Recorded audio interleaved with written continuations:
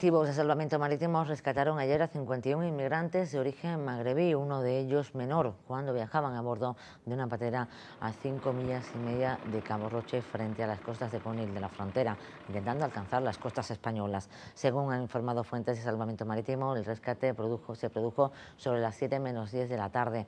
En la embarcación viajaban 51 personas, de las que una es menor de edad, aunque podría haber más a la espera de la exploración médica.